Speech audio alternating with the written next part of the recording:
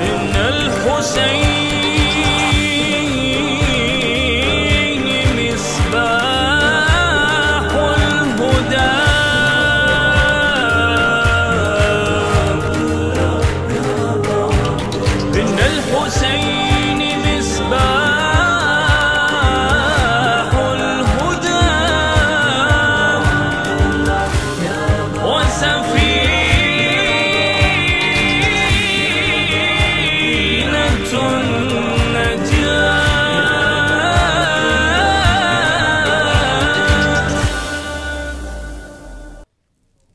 Apologies, dear viewers of Imam Hussein TV, for that technical issue. As I mentioned, we have um, a new guest uh, on, or two new guests actually, on my socially distant uh, hot seats for, for, for today. Um, we are welcoming back Sayyid, uh, Dr. Sayyid Ammar Naqshwani onto the show. He's going to be with us. Uh, but also, we're welcoming Sheikh Muhammad Al Hilli, uh, as well as Muhammad Datu, who's going to be blessing us with recitations and, of course, the wisdom uh, of Imam Al Hussein and the heroes of Karbala. So, before we get on to the speaking side, I would like to kind of shake it up a bit um, and listen to poetry, if that's okay with you, Hajj Muhammad. Firstly, how are you? How's everything? Alhamdulillah, how are you keeping? Not bad, Alhamdulillah. Um, so far, so good in terms of the programme. You guys really socially distant. No a bit more than you guys. I have I have something in between. Uh, ah, yani ah, so it, might. A, there's a barza. It might. It might. Yani it might. Something might happen. Uh, but if you want, if you want to say it, I'll, I'll just move it a bit to the side. Yeah, move, move a bit. Just We're a bit, worried. Just a bit more. Um, so yeah, Hajj, and I think we were talking behind um, uh, off air that there's a specific poem that you have. That's right. Um, care to share with us? So uh, of course we know the the famous story uh, as the scene is set that Hisham has come for Hajj and thousands have come. And as he goes to do tawaf, you know, he can't go close, he can't kiss Hajar al Aswad. Oh. And he's angered by this, that the people haven't given him his respect as he deserved. Yeah. So he sits afar, as shuyukh, they, they both know, I don't need to tell them, but if anyone at home doesn't know the story. And all of a sudden they see a man with a luminous face enter. Yeah. And he goes towards the Kaaba and the people split like the Sea of Musa parts. And he goes and he does his tawaf and he kisses Hajar al-Aswad and he walks away. And you know, Hisham is angered, his, his pride has been hurt. And he knew who this was. Ajib. But out of that anger and that ignorance and that arrogance, he says, Man hada? Who is this?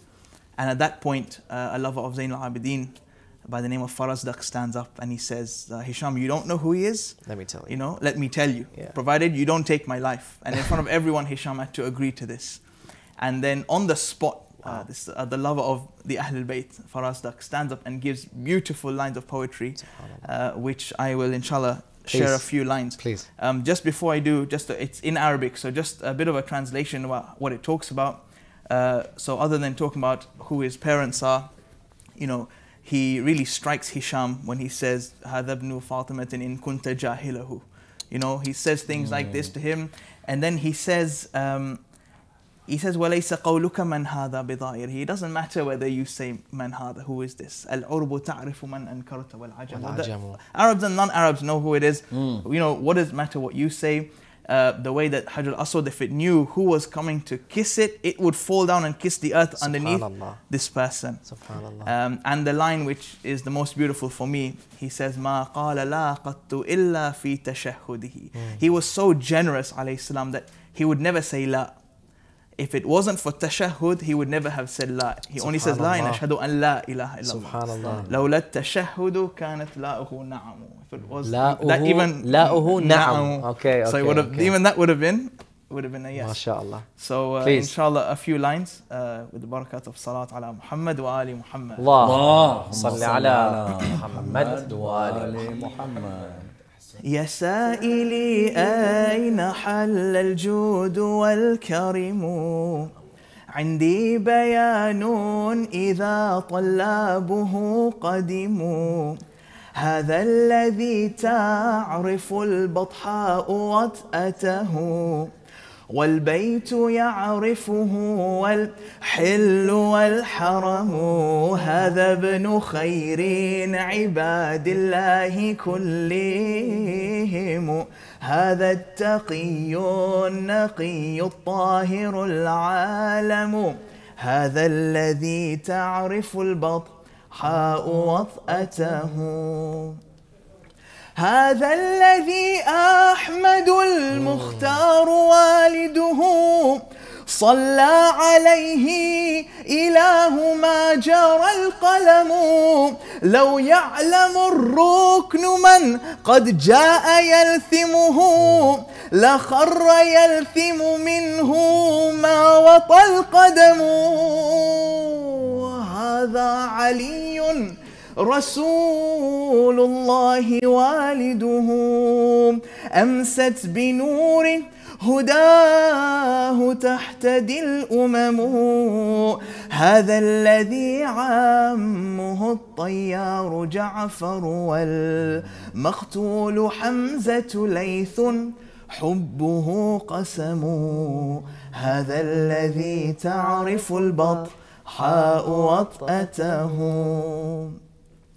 هذا ابن سيدة النسوان فاطمة وابن الوصي الذي في سيفه نقم يكاد يمسكه عرفان راحته ركن الحتيم ركن الحطيم إذا ما جاء يستلم.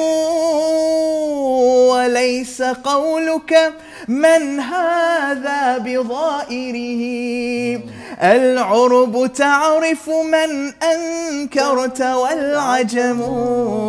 إذا رأته قريش قال قائلها إلى مكارم هذا ينتهي الكرم.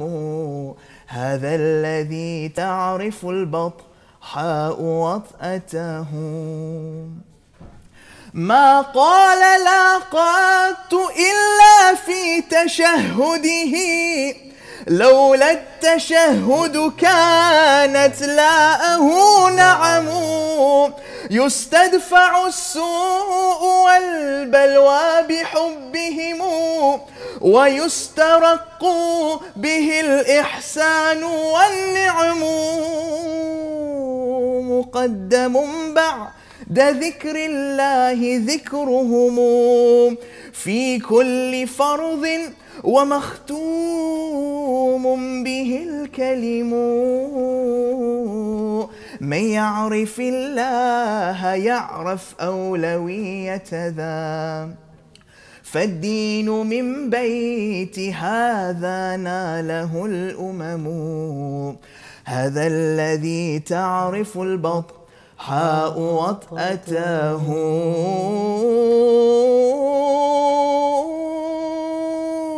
يا سائلي أين حل الجود والكرم؟ عندي بيان إذا طلابه قدموا هذا الذي تعرف البطحاء وطأته والبيت يعرفه والحل والحرم هذا ابن خير عباد الله كلهم. هذا التقي النقي الطاهر العالم. هذا الذي تعرف البطحاء وطأته. اللهم صل على محمد وآل محمد. I haven't heard that since 20 years ago. Mullah Basim. yes, yes. Mullah Basim Karbala'i. He had this and he had um, Qalbi. Yes. And he had, uh, yeah, the Abul Fadl. I, don't know, I forgot the, the words for Abul Fadl. Um, I'll probably remember later. Thank you very much, no, thank you. Muhammad, uh, for that beautiful, beautiful rendition. Thank you.